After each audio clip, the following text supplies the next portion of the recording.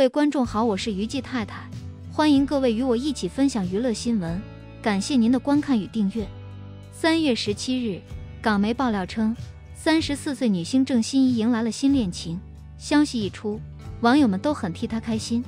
曾说过不会再强迫自己减肥的郑欣宜，考虑到健康问题，去年底重新尝试减肥。经过调整饮食结构以及适当的运动，短短三个月，她减掉了十八斤，效果明显。最近，她在个人社交账号上晒出靓照，大方展示自己的减肥成果。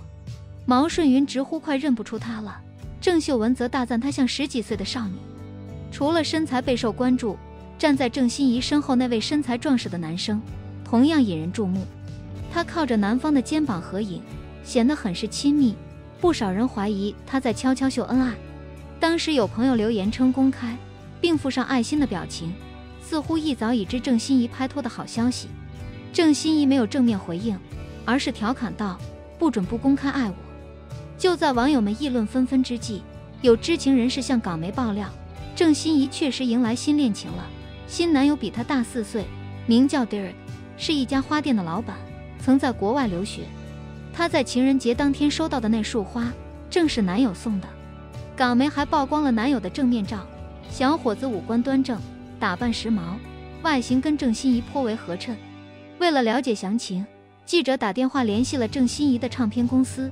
对方表示：“我会跟心仪说，不帅气不高大不要选，谢谢大家关心。”讲真的，郑欣宜一直渴望早点结婚生娃，真的有新恋情也不意外。当然了，是真是假，还是要等她本人亲自回应。郑欣宜是知名影星郑少秋与沈殿霞所生的女儿，可惜郑欣宜出生没多久，夫妻俩感情就破裂了。郑少秋与沈殿霞离婚后，火速再婚并生了两个女儿。尽管他没跟沈殿霞闹翻，但始终有了新家庭，没办法时刻陪伴在郑欣宜身边，导致郑欣宜从小缺乏父爱。妈妈去世后，郑欣宜独自一人生活，这让她倍感寂寞，很想组织属于自己的家庭。之前受访，她曾自曝喜欢有内涵的男人，虽然自己身材肥胖，但从来没有被男友嫌弃过。她笑言不怕胖妹找不到男友，因为有人喜欢吃排骨。也有人喜欢吃五花腩。为了尽快找到另一半，她不时跟异性约会。她认为择偶就像买鞋子，一定要试一试。考虑到现实问题，郑欣宜推算过自己生娃的时间。她坦言，即便遇到对的人，也要时间谈恋爱、见家长，婚后还要过一阵子二人世界。最快三十六、三十七岁备孕，预计三十八岁才能生娃。在沈殿霞去世之后，郑欣宜继承了巨额财产。无数人害怕会有人因此接近她。沈殿霞为了弥补女儿不能在完整的家庭成长，对郑欣宜非常宠爱。她的童年可以说是在山珍海味下长大的，每天早餐吃鲍鱼，穿漂亮的衣服，住豪宅。但即使如此，她还是不满足，因为她缺少父亲的爱。后来有一次，郑少秋突然出现在郑欣宜面前，沈殿霞看到女儿非常开心幸福的样子，她开始慢慢释怀了心中的怨恨。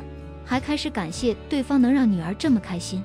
郑欣宜是幸运的单亲子女，因为她有一个爱她胜过一切的母亲。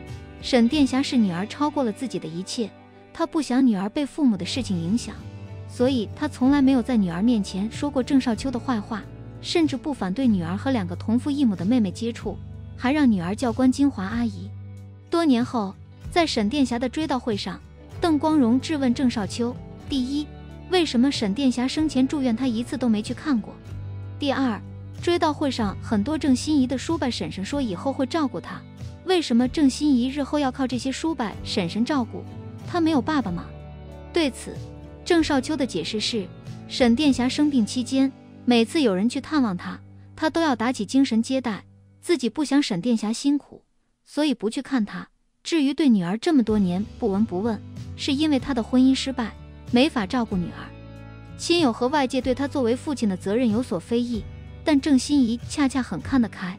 当父亲在追悼会上被外人质问时，他站出来解围说：“追悼会是表达对母亲的追念，不应该被其他是非影响，自己家人明白他的心意就可以了。”这番话同时也维护了母亲的体面。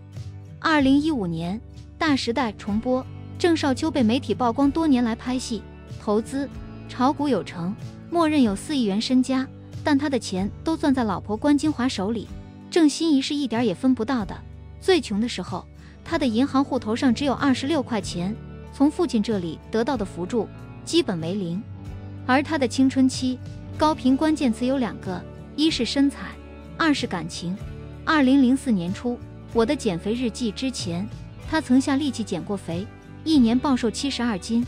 结果两年后回加拿大上学，因为失恋和暴饮暴食，又没人督促减肥，他的身材迅速回弹，被修身堂的老板张玉山放弃，丢掉代言。母亲去世之前，他交往了一个老外男友，男友没有正经工作，以他当时二十一岁的年纪，没有驾驭财富的能力，所以沈殿霞在遗嘱里交代，由陈淑芬以及吴姐沈伟霞管钱，女儿不能擅自动用。但有爆料说。她在母亲去世后，似乎动了歪心思，变卖遗产，倒贴男友。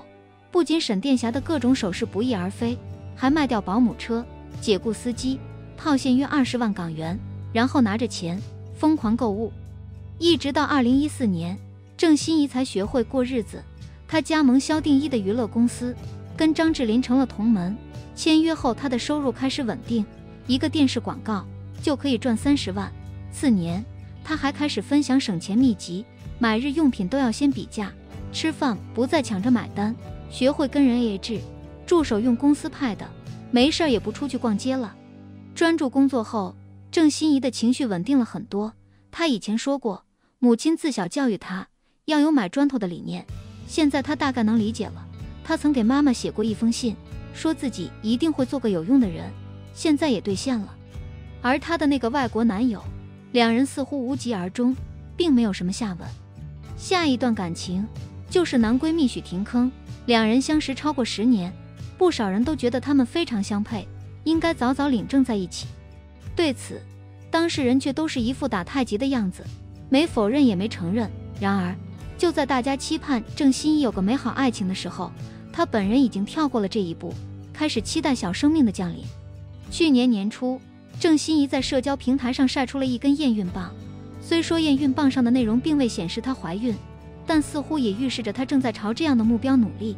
当时有不少网友调侃说，莫不是她想要跟自己的好闺蜜谢婷婷一样，当个未婚妈妈？而在验孕棒之前没多久，她曾在社交平台上晒过自己和一位男生的亲密照片，不少网友都担心他会被骗走母亲的遗产，毕竟。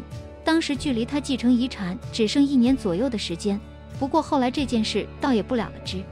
近日，三十四岁的郑欣宜出席活动，透露自己从去年年底到现在两个月的时间，急速瘦了十八斤。减肥前，她的体重高达一百八十斤，现在大约在一百六十斤左右。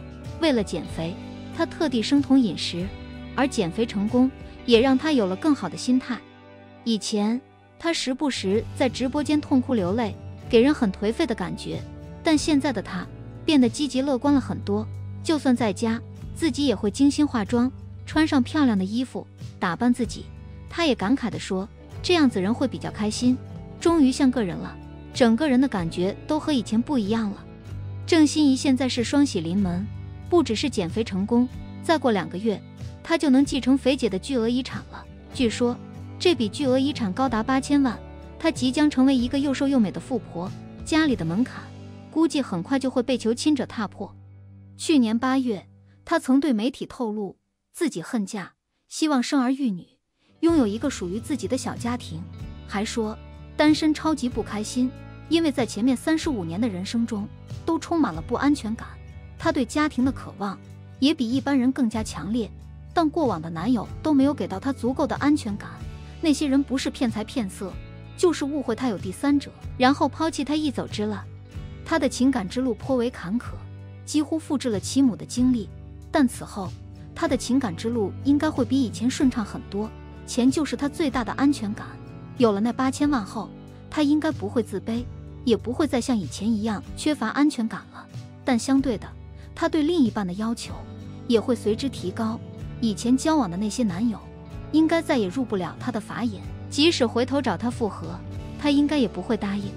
上月月底，沈殿霞过世十四年忌日，郑欣宜一如既往发文怀念母亲，同时，她也透露了自己的心声，称很希望有个像母亲一样，不管她做了什么，都对她不离不弃的男人。其实，她的内心是矛盾的，既希望自己能够有一个幸福美满的家庭，又害怕自己会遇到一些不好的人。希望他能够擦亮自己的眼睛，努力辨别，寻找到真正属于自己的爱情。好了，今天的视频就到这里了。如果你喜欢于季太太的视频，欢迎点赞、分享视频并订阅我的频道。我们下期再见。